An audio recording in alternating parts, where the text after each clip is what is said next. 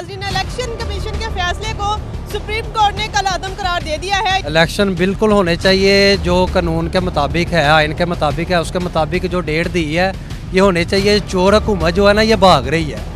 Vote किनू दी है सारे जो बद तो बाद आते हैं जेडे बद तो बाद आते हैं इलेक्शन होने चाहिए जैसे मुल्क के हालात है ना तो हालातों के बेहतरी के लिए इलेक्शन होने ज़रूरी है। ये हुकूमत जो बैठी है इसने तो बहुत महँगाई कर दी। गरीब आवाम परेशान है आटा मांगे बेरोज़गारी है ये पाकिस्तान का लीडर नहीं बल्कि इसे दुनिया लीडर मानती है ठीक है?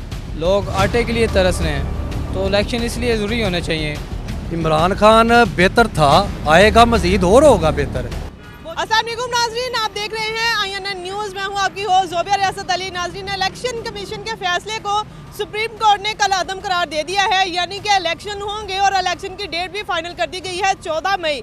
आज हम आवाम से जानेंगे कि इलेक्शन होने चाहिए या नहीं। आवाम का क्या फैसला है इस बारे में हाँ या ना? आइए जानते हैं आवाम से। मजीद वीडियोस देखने से पहले हमारा चैनल सब्सक्राइब करें और बेल आइकन भी ज़रूर दबाएँ। सुप्रीम कोर्ट ने अपना फैसला सुना दिया कि चौदह मई को इलेक्शन होंगे। आप इस बारे में क्या कहते हैं? इलेक्शन होने चाहिए या नहीं? अलहमदिल्ला हंड्रेड परसेंट इलेक्शन होने चाहिए क्योंकि जिस तरह मुल्क की हालात आपको पता है जिस तरह जा रहे हैं तो मेरे ख्याल में नहीं लगता कि हंड्रेड परसेंट इलेक्शन होने चाहिए। वोट किसको देंगे?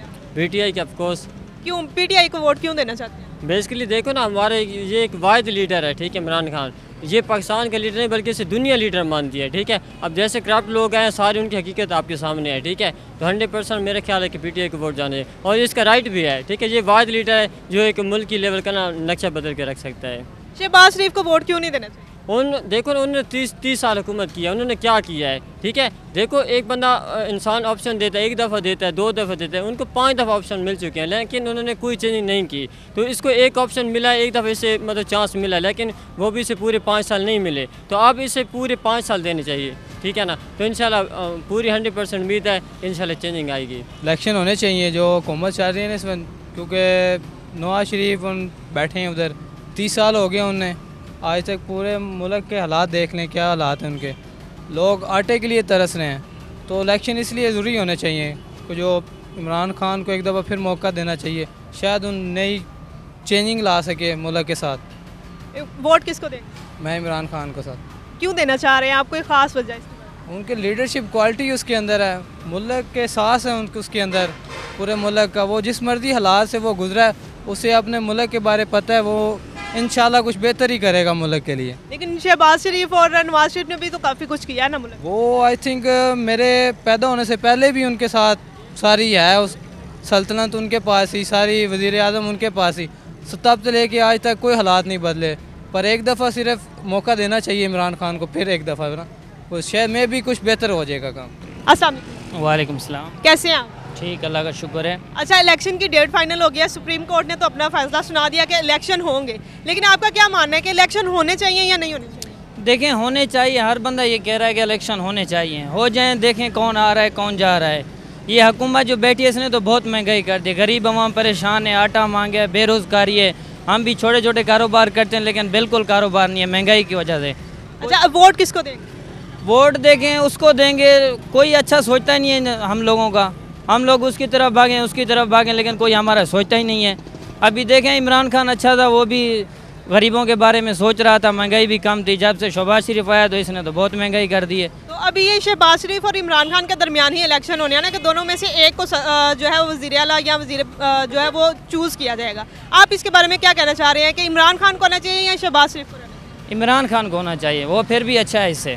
क्या कोई ख़ास वजह उसकी बता सकते ख़ास वजह भी ये है कि एक तो वो सबकी सोचता है अपनी नहीं सोचता सबकी सोचता है वो। और दूसरी बात ये है कि वो महँगाई भी कम करेगा। इसने बहुत कर दी वो कम करेगा। और गरीबों के बारे में वो बहुत सोचता है ये नहीं सोच रहे ये लोग। शहबाज शरीफ जो है या नवाज़ शरीफ इन्होंने भी तो बड़ा कुछ किया ना पाकिस्तान के लिए।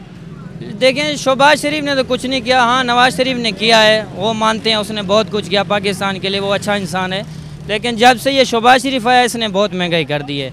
ਇਲੈਕਸ਼ਨ ਹੋਣੇ ਚਾਹੀਦੇ ਨੇ ਤੇ ਇਸ ਕਰਕੇ ਕੋਈ ਅੱਛਾ ਬੰਦਾ ਆਵੇ ਕੋਈ ਮਹਿੰਗਾਈ ਖਤਮ ਕਰੇ ਨਹੀਂ ਮਹਿੰਗਾਈ ਗਰੀਬਾਂ ਵਾਸਤੇ ਮਾਰ ਗਰੀਬ ਮਰ ਗਏ ਨੇ अच्छा किसको वोट देंगे पीटीआई को या पीएमएन ਵੋਟ ਵੋਟ ਕਿਹਨੂੰ ਦਈਏ ਸਾਰੇ ਜਿਹੜੇ ਆਉਂਦੇ ਨੇ ਵੱਧ ਤੋਂ ਵੱਧ ਹੀ ਆਉਂਦੇ ਨੇ ਜਿਹੜੇ ਆਉਂਦੇ ਨੇ ਵੱਧ ਤੋਂ ਵੱਧ ਹੀ ਆਉਂਦੇ ਨੇ अभी देखें इलेक्शन होंगे तो एक को चूज करना पड़ेगा ना या इमरान खान या शहबाज शरीफ आप किसके हक में कि शहबाज शरीफ की अभी हुकूमत चल रही है यही बेहतर है या इमरान खान को एक मौका देना चाहिए ਇਮਰਾਨ ਖਾਨ ਨੂੰ ਮੌਕਾ ਮਿਲਿਆ ਸੀ ਉਹਨੇ ਵੀ ਕੁਝ ਨਹੀਂ ਕਰਕੇ ਦਿਖਾਇਆ ਇਸ ਹਕੂਮਤ ਇਹਨੂੰ ਦੇਣੀ ਚਾਹੀਦੀ ਹੈ शहबाज शरीफ को देना चाहिए। ਸ਼ਬਾਸ਼ ਸ਼ਰੀਫ ਨੂੰ मतलब आप वोट नून लीग को देंगे ਨੂਨ ਲੀਗ ਨੂੰ इलेक्शन की जो है वो डेट फाइनल हो गई है चौदह मई आप इस बारे में क्या कहते हैं सुप्रीम कोर्ट ने तो अपना फैसला सुना दिया आपको लगता है इलेक्शन होने चाहिए या नहीं इलेक्शन होने चाहिए जैसे मुल्क के हालात हैं ना तो हालातों के बेहतरी के लिए इलेक्शन होने ज़रूरी हैं अच्छा आप किसको वोट देंगे पीएमएन को या पीटीआई को मैं पीटीआई को दूँगा। वजह इमरान खान को वोट देने की क्या वजह आपके पास? बस इमरान हाँ देखने में बंदा ठीक है और मुल्क मुल्क के लिए कुछ कर सकता है। जिसके दिल जिसकी इजाज़त देना काम वो करना चाहिए और जिसकी इजाज़त दिल ना देना उसका वो काम करने का फ़ायदा नहीं है। अच्छा शहबाज शरीफ और नवाज़ शरीफ ने भी तो इतना कुछ किया है ना पाकिस्तान के लिए तो क्या उसको वोट नहीं मिलना चाहिए? मैं वो लोग करते हैं, उनको भी फॉलो लेकिन मैं अपना कहता हूँ ना, मुझे इमरान हाँ पसंद है, वो बंदा ठीक है मेरी नज़र में। इलेक्शन बिल्कुल होने चाहिए, जो कानून के मुताबिक है आइन के मुताबिक है, उसके मुताबिक जो डेट दी है, ये होने चाहिए। चोर हुकूमत जो है ना, ये भाग रही है। इन्होंने अब भागना आगे और मज़ीद भागना इन्होंने इलेक्शन से भी भागना है। जो मेन इलेक्शन होंगे ना, इनसे भी इन्होंने भागना है। ये इलेक्शन डेट जो दी है, बहुत अच्छी दी है। अच्छा आपको क्यों लगता है कि इलेक्शन क्यों होने चाहिए? इलेक्शन आपके सामने महँगाई देख ले कितनी ज़्यादा है। हर बंदा परेशान है। इन्होंने आते सार इतनी तबाही फेर दी है। अब हमारे पास एक ही हल है इमरान खान ही हल है। और कोई हल नहीं हमारे पास। अच्छा इमरान खान को वोट देंगे या पीएमएन हम जान अल्लाह की वोट इमरान खान का इन इमरान खान को वोट देने की कोई ख़ास वजह? इमरान खान की वोट देने की ख़ास वजह ये है कि उन्होंने सबसे पहले तो हमें दिया है दस लाख का फ्री इलाज क्योंकि हमने खुद भी इलाज करवाया। एक तो होता ना बंदे ने ना करवाया हो।